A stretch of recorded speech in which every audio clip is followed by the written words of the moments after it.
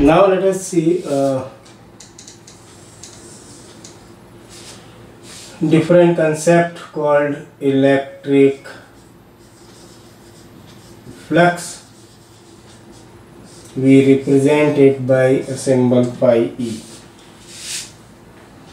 What is electric flux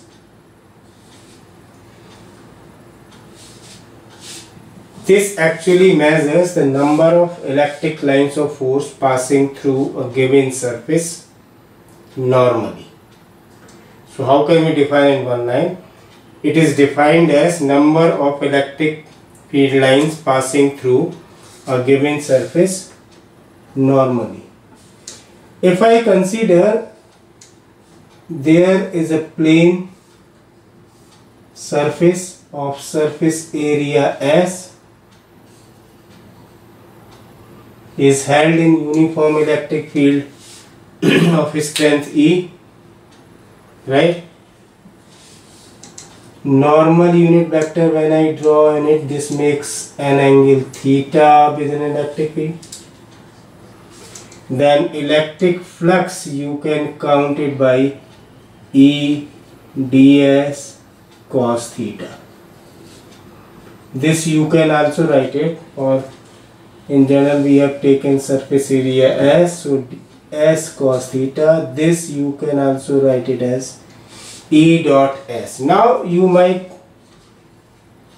be thinking surface area is not a vector quantity then how did I put as a dot product electric field vector and surface area vector?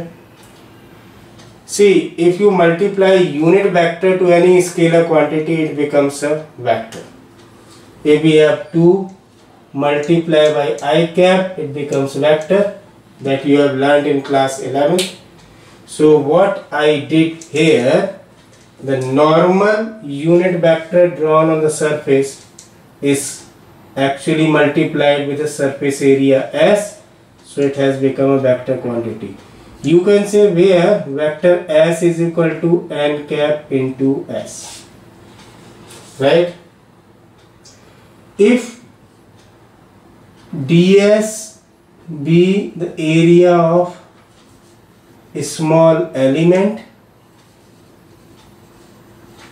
here we can choose a small element of area ds then electric flux phi e is equal to e dot ds. D phi e is equal to e dot ds. To find total flux we have to integrate d phi e and that you have to integrate e dot ds this is a surface integral. It is not a normal integration. Now we can create three cases also here. Case number one when theta is equal to 0 when theta is 0 means angle theta is an angle between normal unit vector and electric field. So when theta is 0 it means plane is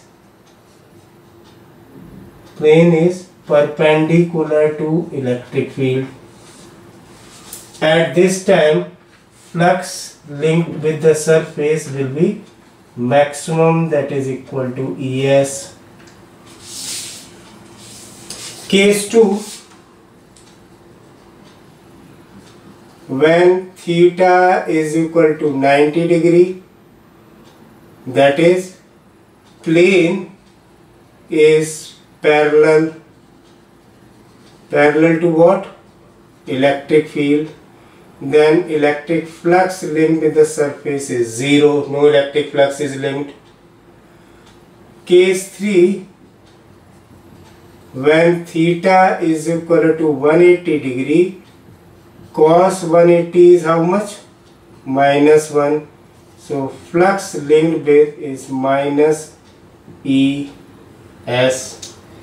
This symbolizes here that electric field vector direction is opposite to the surface area vector. This is a very important concept.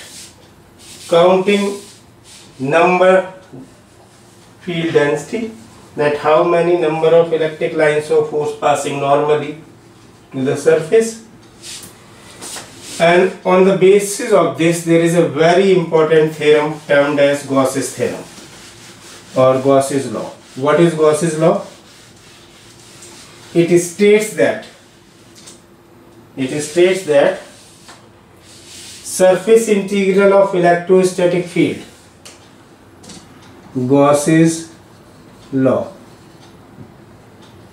It states that surface integral of an electrostatic field is equal to 1 over epsilon naught times to the total charge inside the closed surface.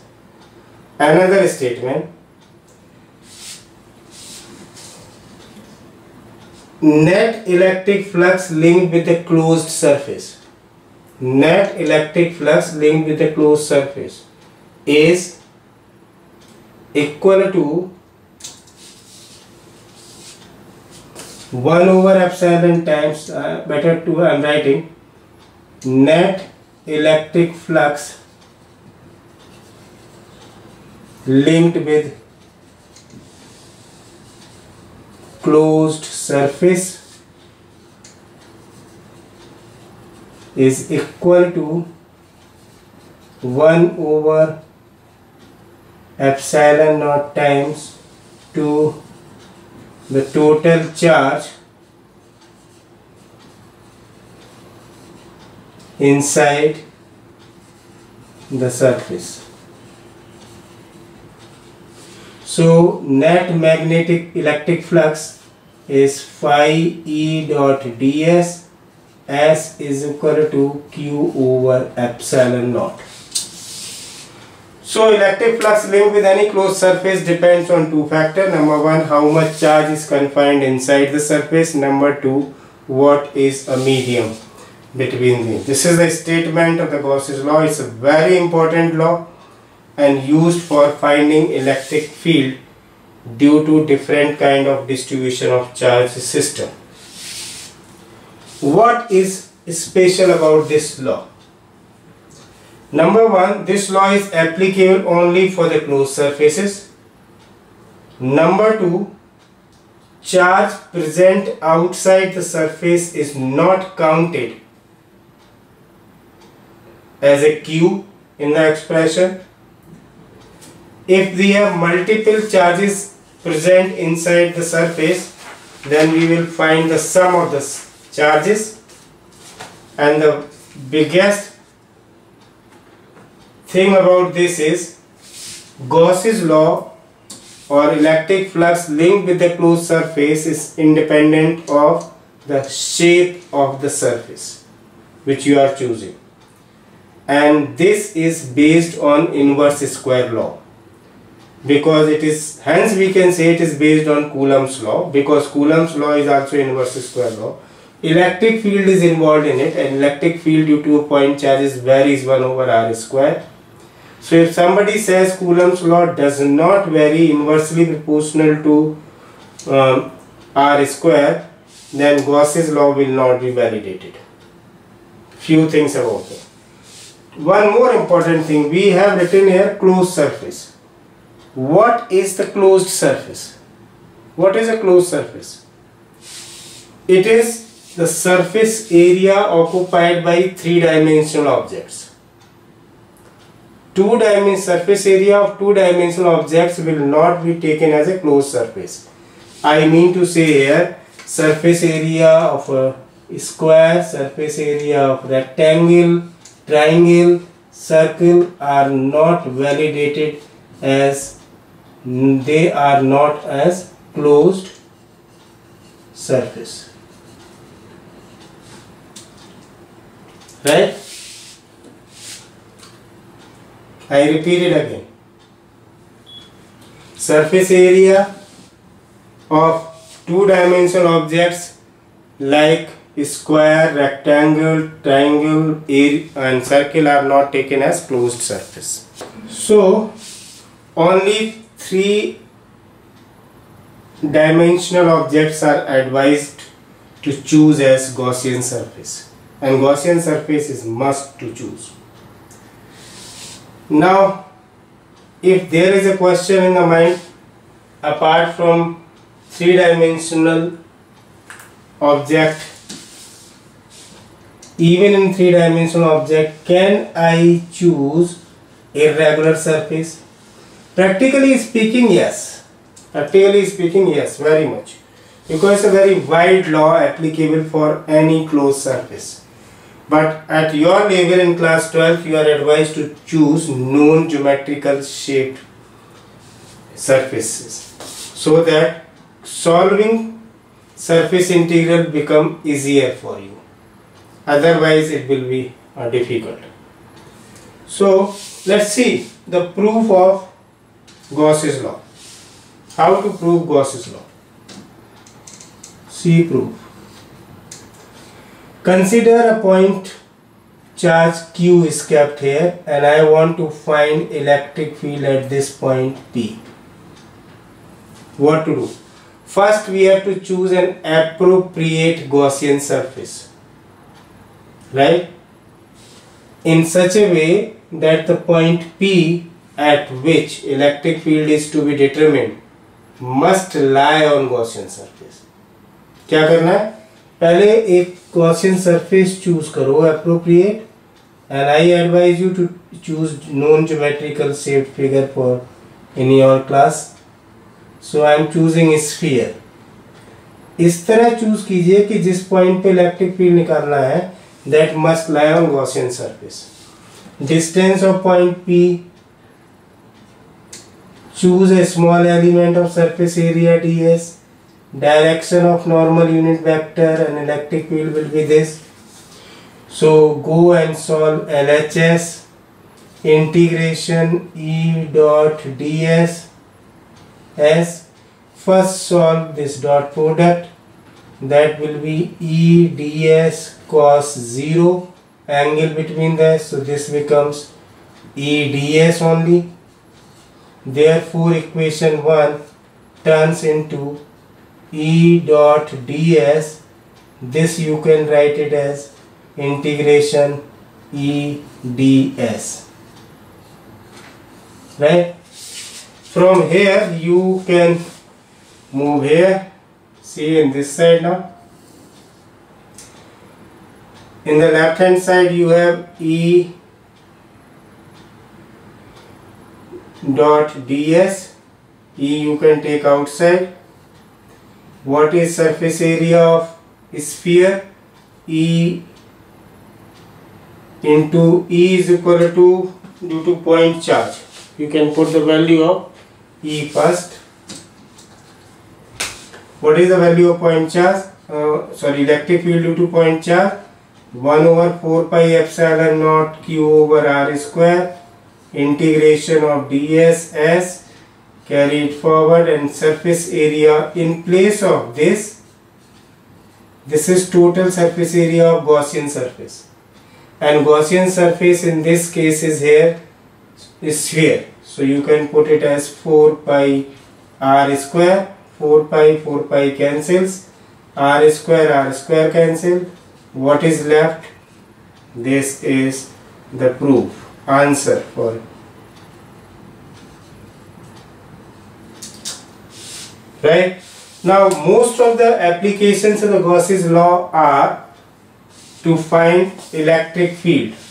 Due to a single point charge that you can do in a normal mathematics also or due to a system of point charges something like that. Let's take first application applications.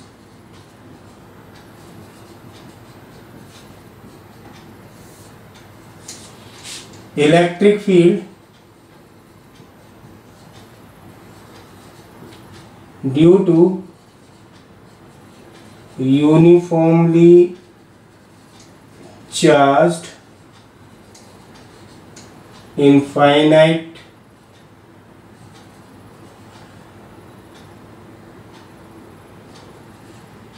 infinitely long infinitely long wire.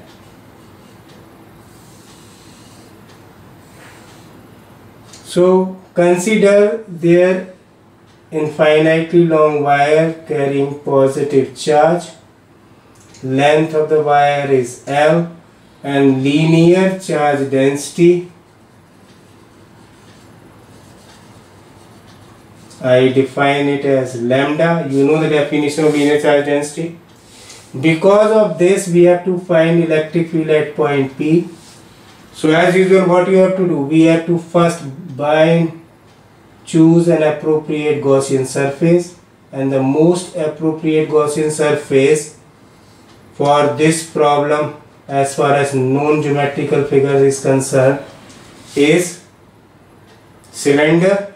Choose a, small segment normal unit vector direction of electric field in the same however on this cross sectional area if you choose normal unit vector electric field are perpendicular so there will be no electric field so you can say at cross sectional area or cross sectional surface E is perpendicular to n cap therefore phi E is equal to 0 right? Therefore flux is linked with lateral surface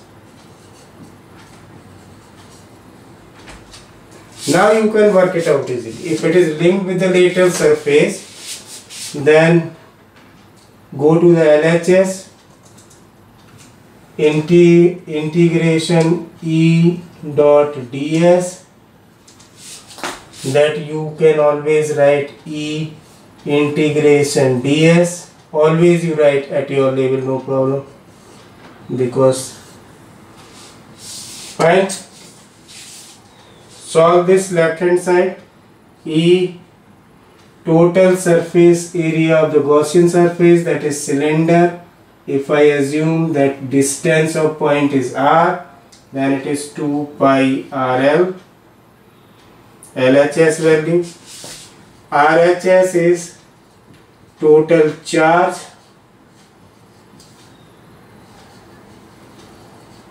Q is equal to lambda into L fine equating 3 and 4 E 2 pi RL lambda L over epsilon naught lambda LL cancel. So E is equal to lambda over 2 pi epsilon naught R. So if you have a look in this result electric field due to infinitely long straight wire is varying according to 1 over R square it means if somebody asks you right now, plot a graph and show variation of electric field due to linear charge distribution or for infinitely long wire. So E is here, R is here, it is 1 over X graph. So you can undoubtedly mark it like this. That's how can how you can do for this.